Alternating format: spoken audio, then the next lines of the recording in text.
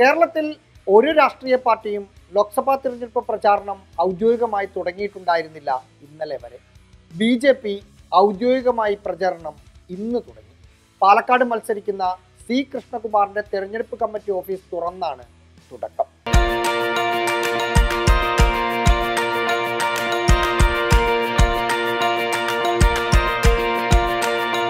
കേരളത്തിലെ B J P നേതാക്കളോട് സംസാരിക്കുമ്പോൾ ഒരു കാര്യം മനസ്സിലാകും.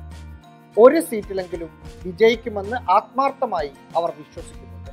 എന്നത്തെയും പോലെ വെറും പറച്ചലായി അതിന് രാഷ്ട്രീയ എതിരാളികൾ പോലും കാണുന്നുമില്ല.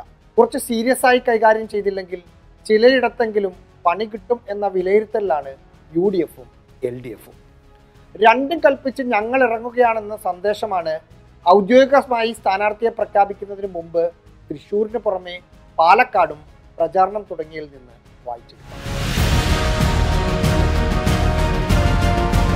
കഴിഞ്ഞ രണ്ട് ലോക്സഭാ തിരഞ്ഞെടുപ്പിലും രണ്ടാമത് വന്ന തിരുവനന്തപുരത്ത് നിന്ന് ഫോക്കസ് തൃശൂരിലേക്ക് മാറ്റി എന്നത് പ്രത്യേകം ശ്രദ്ധിക്കണം. സുരേഷ് ഗോപി വഴി തൃശൂർ അങ്ങെടുക്കാമെന്ന് വിചാരിക്കുന്നവരിൽ സംസ്ഥാന നേതാക്കളെക്കാൾ കൂടുതൽ കേന്ദ്ര നേതാക്കളാണ്. രണ്ടാമത്തെ പരിഗണന തലസ്ഥാനത്തിനാണ് തിരുവനന്തപുരത്തിന്. പക്ഷേ സ്ഥാനാർത്ഥി ആര് എന്ന കാര്യത്തിൽ സംസ്ഥാന നേതൃത്വത്തിന് പോലും ഊഹമില്ല. എല്ലാം കേന്ദ്രം പറയും ഞങ്ങൾ അനുസരിക്കുമെന്ന ലൈനിലാണ് കെ സുരേന്ദ്രനും കൂട്ടരും.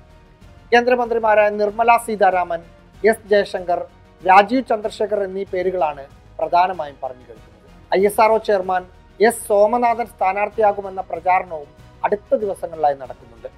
നടൻ കൃഷ്ണകുമാറിന്റെതാണ് പറഞ്ഞു കേൾക്കുന്ന മറ്റൊരു പേര്. വിജയപ്രതീക്ഷ വെച്ചു പുലർത്തുന്ന ആറ്റിങ്ങലിൽ വി മുരളീധരനും പാലക്കാട് സി കൃഷ്ണകുമാറും സ്ഥാനാർത്ഥിയാകുമെന്ന് ഉറപ്പാണ്. പിന്നെ പ്രതീക്ഷ വയ്ക്കുന്ന പത്തനംതിട്ടയിൽ പി സി ജോർജ് വേണോ കുമ്മനം രാജശേഖരൻ വേണോ എന്ന സംശയത്തിലാണ് സംസ്ഥാന നേതൃത്വം വേറൊരു കാര്യം ഇത്തവണ മത്സരിക്കാനില്ല എന്ന തീരുമാനത്തിൽ സംസ്ഥാന പ്രസിഡന്റ് കെ സുരേന്ദ്രൻ എത്തിയിട്ടുണ്ട്. പ്രചാരണത്തിന് മേൽനോട്ടം വഹിക്കാൻ ആളില്ല എന്നതിന്റെ പേരിൽ സ്ഥാനാർത്ഥികൾ ആരും തോറ്റുപോകരുതെന്ന് പ്രസിഡന്റിന് നിർബന്ധമുണ്ട് പോലും.